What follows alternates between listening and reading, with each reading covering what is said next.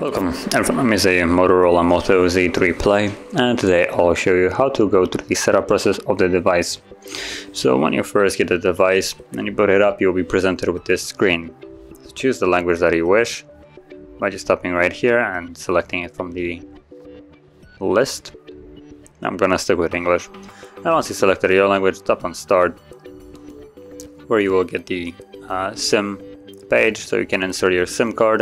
Now this process is completely optional. You can insert it now in the next step or complete it in the next day or lifetime and it literally won't matter one bit. The moment you put in the SIM card it will just work normally. So I'm just gonna skip it. Then have Wi-Fi connection. Uh, you can also skip this if you don't have a Wi-Fi around or you can connect to one. Uh, it will allow you to later on uh, throughout the setup process uh, basically connect to your Google account. And also it's used if the device is uh, locked with a for instance previous owner uh, forgetting to log out of his Google account and resetting the device you will need to connect and then verify that account. Um, but yeah so let's just choose network right here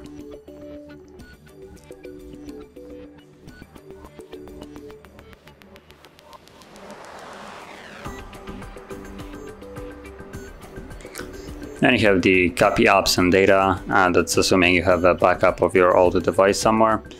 Um, so you could go to next and just follow these provided steps. Uh, I'm gonna choose to don't do that right now, so don't copy and set it up as new. And then there's the Google sign-in page, like I said. Now, you can log into it if you have an account. If you don't, you can create one right here or you can just skip it altogether if you don't feel like logging in right now. I have the Google services so you can read what they exactly do um, and then enable or disable them accordingly if you want it or not and tap on accept at the bottom. And on the next page you have uh, unlock with your fingerprint uh, so you can use the fingerprint sensor right here to unlock the device. Um, Keep in mind that if you choose to have a fingerprint, you will also need to have another way of unlocking the device. So you have a choice between a PIN, pattern, or password. So you have right here, by default, it goes to a four digit PIN, but you can choose a different one. There is pattern, PIN, password. I'm gonna go with pattern. So draw the pattern, redraw the same pattern, confirm it, and now I get to scan my finger.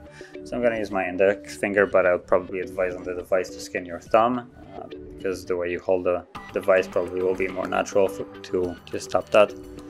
Um, but because it's on a stand, uh, I'll have to do it like this.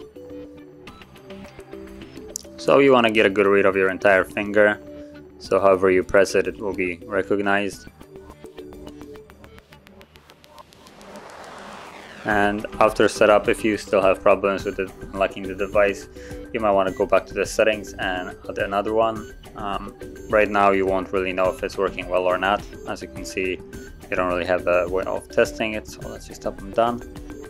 But later on you can just go to the settings and security and there you'll find fingerprint. Um, review additional apps. Okay cool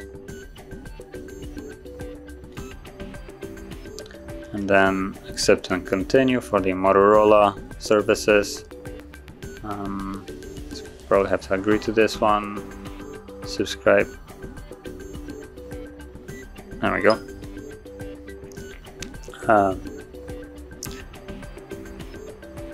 so we have some kind of preview here. Okay, continue. I just keep it however it is. So as you can see, that's basically the setup. And also, if we elect the device, you can unlock it with your finger. There we go. So, if you found this very helpful, don't forget to hit like, subscribe, and thanks for watching.